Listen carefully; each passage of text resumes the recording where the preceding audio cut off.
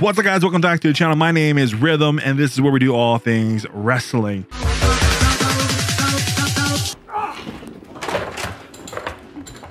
This is not your normal weekly video. This is just me spitting the shot with CM Punk being back in WWE. Now, I know a lot of people out there are throwing all these mixed emotions on how they feel about CM Punk. I just want to give you my opinion. I couldn't be more excited about CM Punk making his return. He was out of the business for 10 years and now he is back. I'm excited as a fan. I can't wait to see all the opponents he's going to be taking on, the storylines he can create, especially the storyline that's going to be created with Seth Rollins.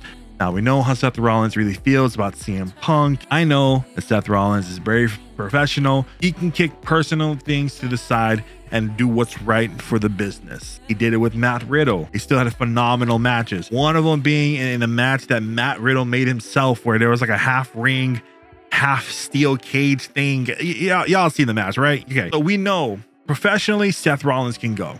So I'm excited for it either way.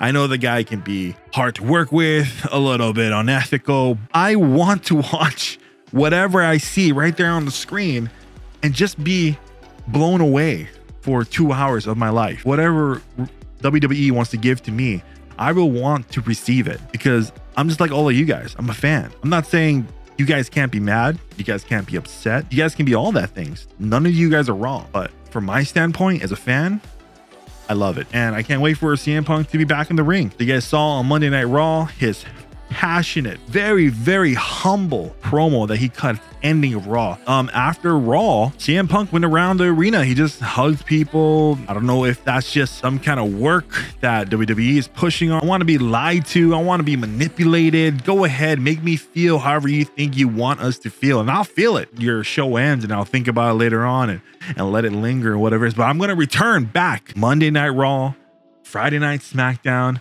Tuesday night NXT and all your your pay-per-views or your premium live events, whatever you want to call it nowadays. I'm to keep coming back as a fan. No matter what you do, guys, remember this. You're always to have some kind of of what what do they call it? Haters? Still call it that nowadays? I don't know. 2023, what do you guys call people who hate on you guys? And that's okay. That's what makes the world honestly go round. That is just my quick take on CM Punk being back in WWE. Hey, CM Punk, Welcome back, buddy. Besides that, my name is Rhythm, and we're done. I'll see you guys on the next video. Adios.